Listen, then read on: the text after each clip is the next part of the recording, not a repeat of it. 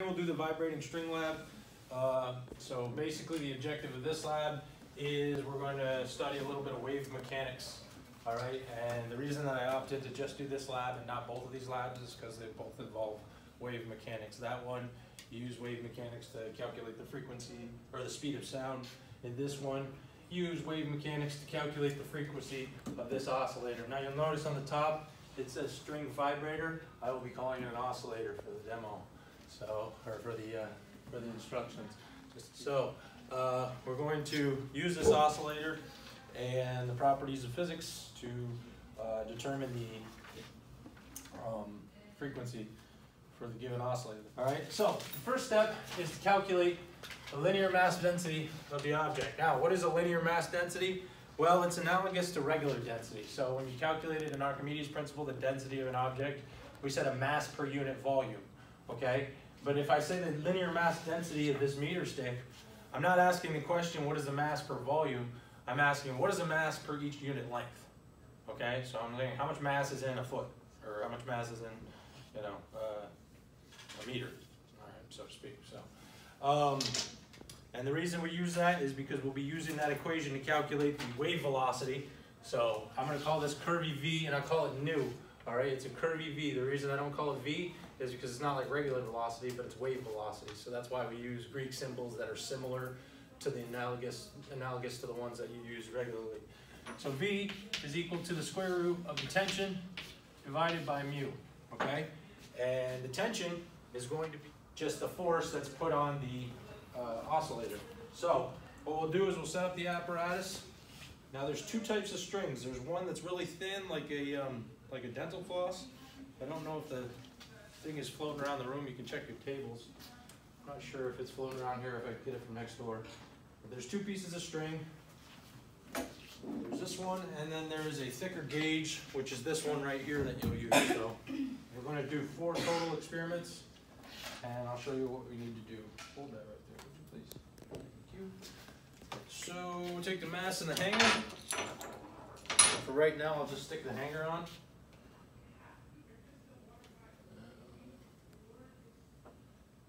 So we'll plug in the oscillator. It'll start to oscillate. All right, and then, okay, so you will create a harmonic pattern, all right, based on the distance of separation for the nodes. All right, so based on this tension, there's a given distance that I can move this apparatus to, in which I create a superposition of waves. So the way I like you guys to think about this is if I attach a jump rope to the wall, all right, and I send a ripple down the jump rope and it goes to the wall, it's gonna hit the wall, it's gonna bounce off the wall and come back to me. All right, there's a frequency that I can send the waves in such a way that when they come back, they meet each other right in the middle, and there's a frequency that I can send in which they come back and they completely cancel each other out. All right, one of those, when they meet each other, is called constructive interference, and when they cancel out, it's called destructive interference. All right, so that is uh, one of the physic physics properties that goes into your noise canceling headphones, in case you have those. If you ever wonder how you cancel out the noise, it's because you use destructive interference to block the frequency of any incoming noise, and you use that physics to make you uh, hear music better. So I'm going to move this to a given uh, distance in which I see the pattern maximized. So you can see as I move it, all of a sudden the pattern stabilizes, and I get what is effectively a two-node pattern, or excuse me, uh, I'll call this a full wavelength or two half nodes, all right, or two half waves I should call them. All right, and the reason it's a full wavelength is because if I were to enlarge this, it would look like this, go down, and look like this. It would look like one full sine wave. All right, so you want to move it until a point where you think you make it the best. So I'm going to move it in. I see it builds, it builds. See, it's much better than it was just a second ago. And if I build it more, I can see it destructs and it goes to nothing. Okay, that's destructive interference. We know this is vibrating, but there's no waves. So what's going on? They're canceling each other out as they come back. But we want constructive interference, right? So I'm going to move it to that distance. All right. And in the first case, for both strings, if you use just the hanger, then the tension is easy. The tension is just mass times gravity. All right, so I'll write that down. The tension, uh, T is equal to M hanger times G in each case. All right, once you have the tension, which is pretty straightforward, you want to measure the nodal separation. So I'm gonna measure the distance between nodes, all right? A node, if this is a wavelength, okay, and this is a wave, all right? Uh, So a node is uh, the points at which there's nothing going on, basically. All right, there's no oscillation. So those are those are called nodes. Every two nodes is a full wavelength. All right, which means every uh, every distance between the nodal separation is half a wavelength. So um, nodal separation equals uh, L, and then you say 2L is equal to lambda, which is the wavelength. Okay? So what I want to do is measure the nodal separation. Now I have a technique that I like to use with students that helps you take a better measurement. Typically, I don't like to see two half waves uh, because the next step after this is we're going to add mass to this and it's going to destruct and then it's going to rebuild. All right, so you can already see at this uh, at this case um, in this example, the uh, wave velocity all right, is dependent upon the tension, which is the mass times gravity, and it's dependent on this, which will be constant throughout the experiment, all right? So, oh, I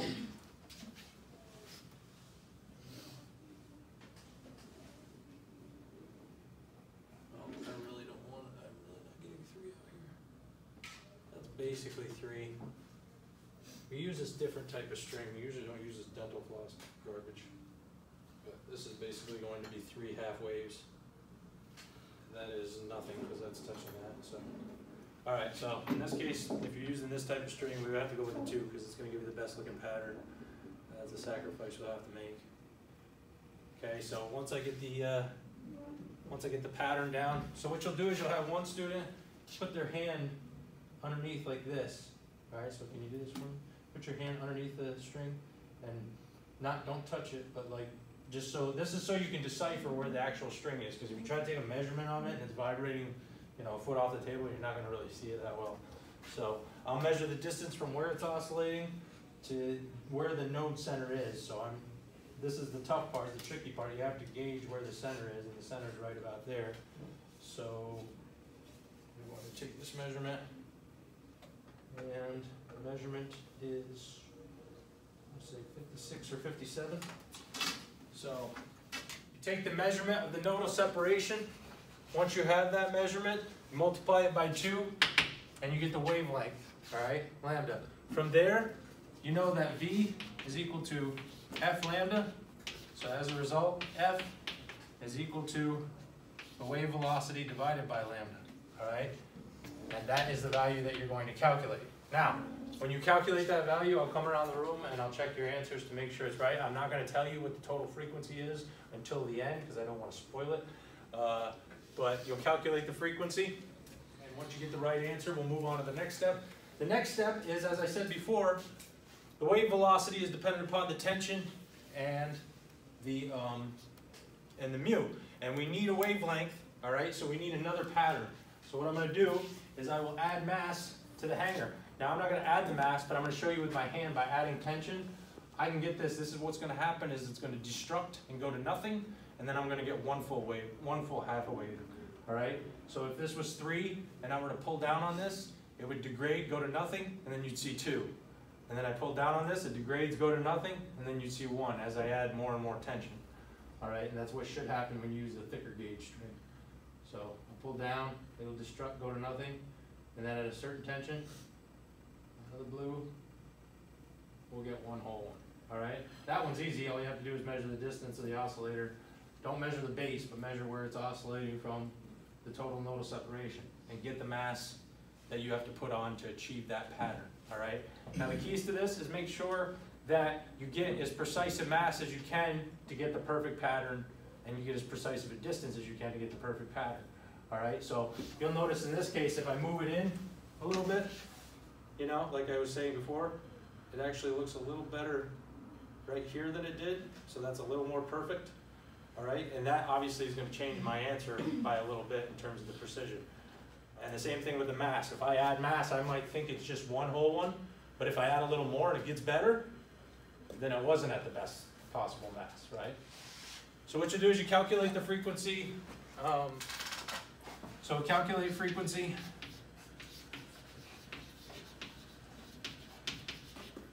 Twice for, um, each string. Alright, so you'll do this twice for this one, changing the mass each time, and then you'll change out strings for the thicker gauge string, and then you'll repeat the experiment. And what you'll find in all four total measurements that you're gonna have is that the frequency is the same, because it's the frequency of the oscillator, and that doesn't change throughout the experiment. Alright, so, are there any questions before we move on? Alright, one of the things we're gonna do right off the get-go is we're gonna measure the linear mass density of both types of strings. I'll find the precise measurements for both of these types of strings, and then, uh, I'll give you those values and you can just plug them in. But other than that, we'll just set up and we'll get going, okay? Everybody else set?